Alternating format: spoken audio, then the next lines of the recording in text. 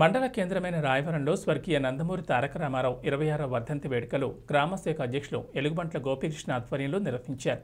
ఈ కార్యక్రమానికి ముఖ్య అతిథిగా అమలాపురం పార్లమెంటరీ పార్టీ ఉపాధ్యక్షుడు పరమహంస పాల్గొన్నారు.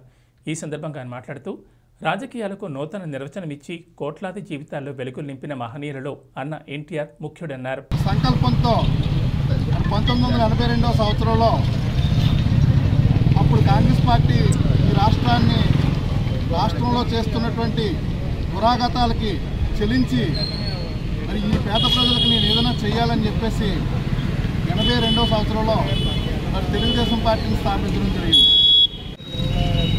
ఈరోజు విశ్వవిఖ్యాత నట సార్వభౌమ నందమూరి తారక రామారావు గారి ఇరవై ఆరవ వర్ధన్ సందర్భంగా ఈ రోజున రాయవరంలో రాయవరం మండలి తెలుగుదేశం పార్టీ ఆధ్వర్యంలో ఈ రోజున వర్ధంతి కార్యక్రమం మరి ఘనంగా జరిపి మరి ఎన్టీ రామారావు గారికి నివాళులు అర్పించడం జరిగింది. మరి నందమూరి తారక రామారావు గారి గురించి చెప్పాలంటే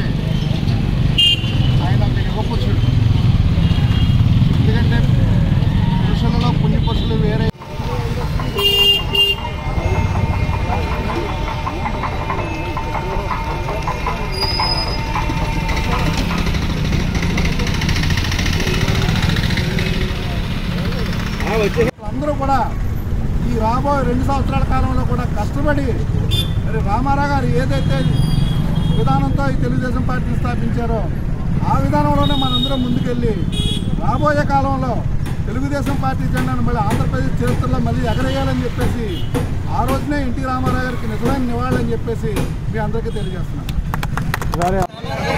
ఎన్టీఆర్ ఎన్టీఆర్ ఎన్టీఆర్ తెలుగుదేశం తెలుగుదేశం తెలుగుదేశం